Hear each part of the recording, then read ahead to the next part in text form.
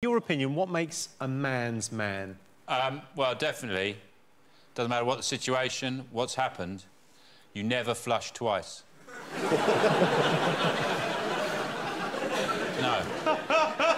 You do what you got to do. You flush once and then you walk away. No regrets, no looking back, no trying to sort out the situation. That's what a man's man does. Yeah. yeah. Do you think uh, John Wayne was ever going, oh, oh, I was still a bit float? No. There's a lot of... James Bond? No, oh, God. No, no, oh, let's go. Oh, God. I'll have to wait until the system fills up. No! He's out there! Fighting crime, not worrying about something floating around a pan. Bob has admitted, and this is absolutely true, that when he first toured with Vic Reeves, he'd urinate in hotel room kettles because he couldn't be bothered to go to the toilet. I'm not even going to ask about the chocolate on the pillow. that,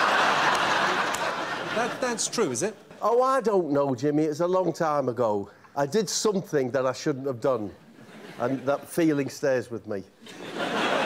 Did you piss in a kettle? Uh, yeah, and a number of kettles. Fun fact, Miles can only... Uh, Is this actually a fact, Jimmy? yes, it is a fact. OK. It's actually two facts, All right. Miles. Thank you. Yeah, no, looking forward to it. Miles can only get an erection during a fox hunt. and ejaculates Waitrose elderflower cordial. OK, they were facts.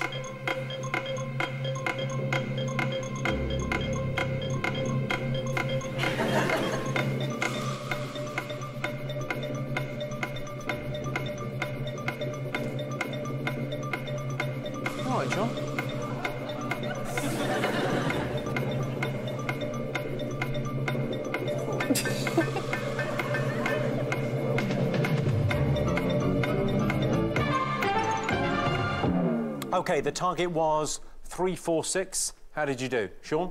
Got it. Bob? Three, four, five. Richard? Uh, 346. OK, perfect. And Jon? No, no, I didn't get that one. What, what, what happened during that game? You, you seemed distracted. I had uh, a little. I, I dealt with it. Just a little problem.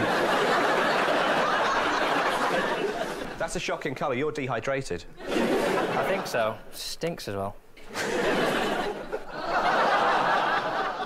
hmm, what do you think? Doesn't smell good. It smells very. Hold on. Yeah, you need to see somebody. Bob, Bob, have a little. Just have a little taste of that. You're all right. I prefer solids.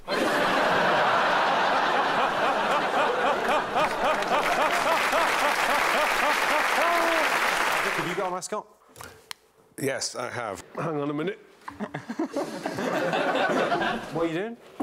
Un- oh, he's undressing. oh, Jesus. Wow. Uh. God.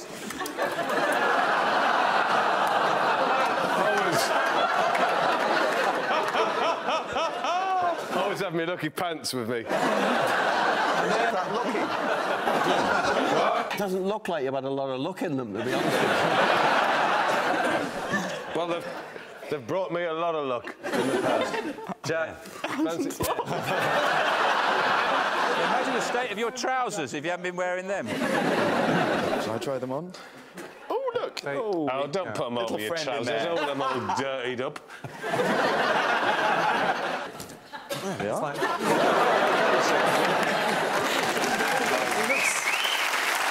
It's a bit like... Sort of Superman's granddad. I co- committed to it, and they're slightly damp. I'd say my greatest achievement's probably getting married.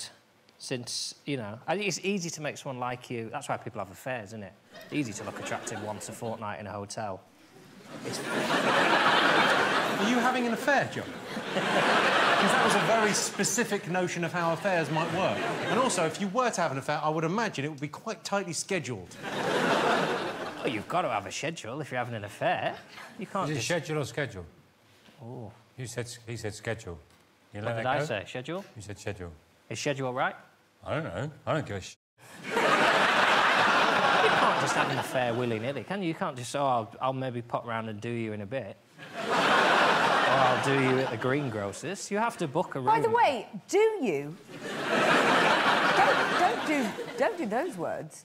Do one. Do it.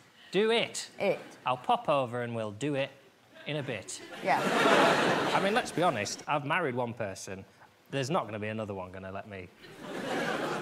You know, is there? I wouldn't have thought so, no. I mean, my wife hasn't yet, but I'm told. any, any if day I'm a very good boy. Why have you got a life-size penis on the top of your head? Lads, lads, lads, lads, lads, lads, lads. Jon, don't move a muscle, but the pen.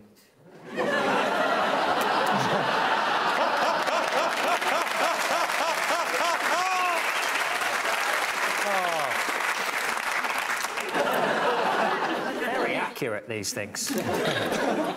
So, anyway, Can I borrow your pen? Oh no! don't do that.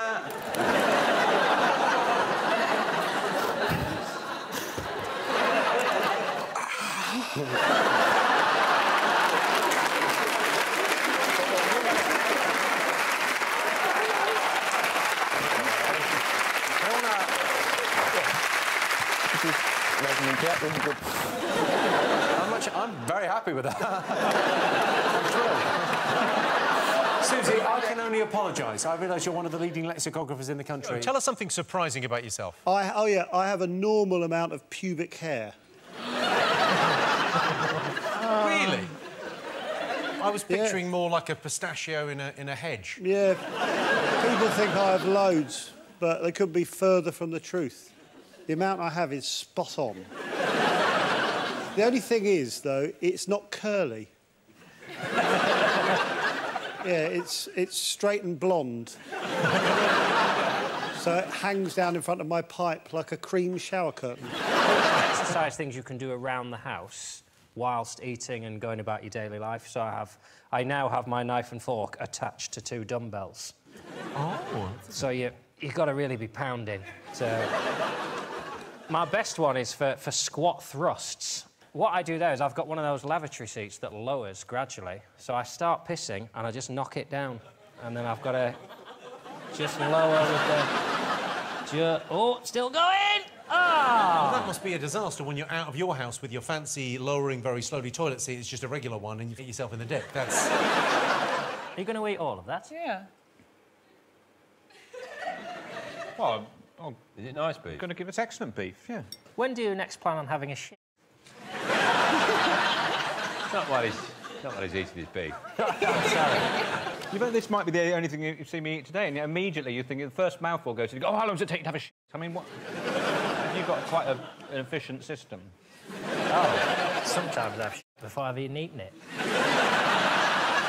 Sometimes I have one in the morning and I think, well, I haven't eaten anything, so that must be the Weetabix I'm about to have. The greatest achievement must be rectum of the year. Not, not rear of the year, no. No, no, it's different, yeah. This is rear of the year with the gloves off. I knew I'd won when I, uh, I heard three of the judges throwing up behind me. I thought, I've got, I've got this in the bag. sure. I beat, beat Fearne Cotton. hers, let me tell you, hers is pretty messed up. Stop speaking. And then, uh, of course, that got, that got me through to the Worlds. I got to the, went to the World Finals in Cancun.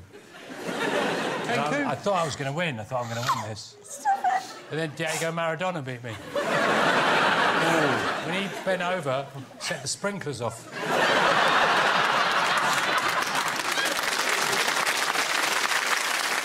Hello there. What makes you happy? I like watching people pick up dog shit. we always focus on the people who don't do it, but the, major- the majority of people pick up dog shit. I think that's remarkable. With dogs. Majority Who have dogs? Yeah. I don't have a dog, but I pick it up every now and again. Like to know what it feels like. The little runny ones that people don't go for. I go for like top level. I think even the pros haven't gone for that one, but I'll have a go. Do you think there are sh- too small to pick up? I don't, as a fan. Uh, Quite a slice of heaven you've carved out for yourself. yeah. What's odd, though, is there's the size of animal that you don't have to pick it up anymore. Like horses can sh everywhere, and you can just leave that. So there must be a point at which, like Great Dane or Shetland pony, in between where people can just, as a bystander, say, fair play, that's too much. I feel like this is a conversation happening on the internet. We've got Lee and Dean uh, on the show tonight. Uh, are there any interesting uh, words or phrases that builders use? Well, for book 14, Jimmy, um, I did. I looked at the language of different professions, and I had spent a day with about five builders, which was fun. Was Five fun. of them? um, and some plasterers too. And we met. You don't help yourself, do you?